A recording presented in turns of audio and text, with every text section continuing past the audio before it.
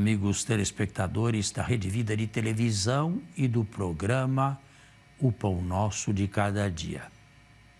6 de janeiro, nós celebramos, ainda no clima de Natal, a solenidade da Epifania de Jesus.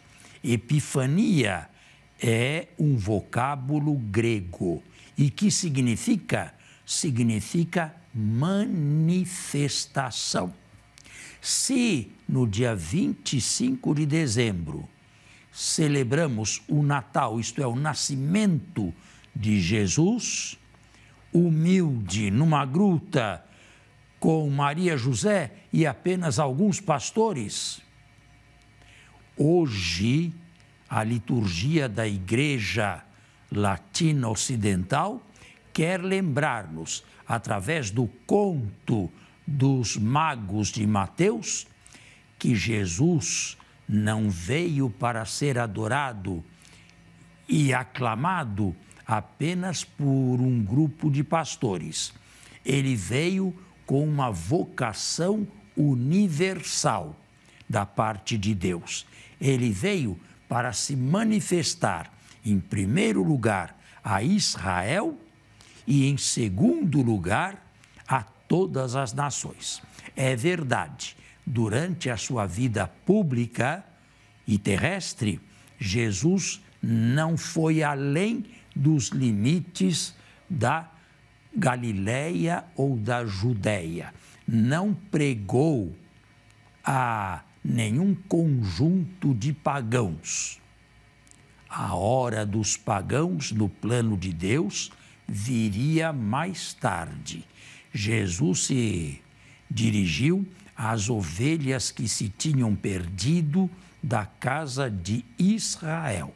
Mas, repito, nos planos de Deus e o conto de Mateus, de três personagens vindos do Extremo Oriente, orienta nesta direção, nos planos de Deus, ele estava destinado a ser anunciado a toda a humanidade.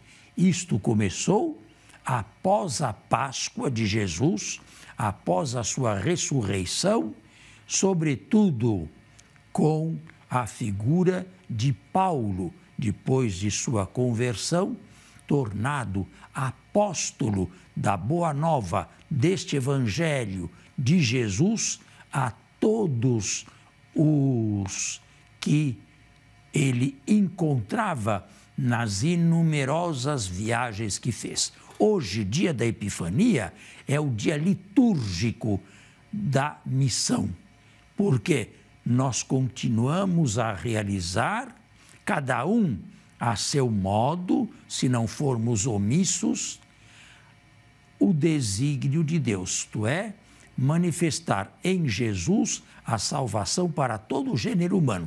Não existe debaixo do céu outro nome pelo qual devamos ser salvos, a não ser o nome de Jesus. Eis o mistério que celebramos neste dia. Paulo nos afirma que este mistério estava escondido no desígnio de Deus, a revelação divina aos pagãos, durante séculos. Somente o povo de Israel. Mas agora, após a ressurreição, o Espírito Santo expandiu os méritos da morte e da vitória de Cristo para todo o gênero humano, para todos os homens de boa vontade, porque Deus não quer ser apenas o Deus dos judeus, estes nos prestaram um grande favor, mas quer ser o Deus de todo ser humano, de todos aqueles que o buscarem e o encontrarem através do encontro com Jesus. Solenidade da Epifania, feliz Epifania para todos aqueles que querem ser profundos nesta celebração.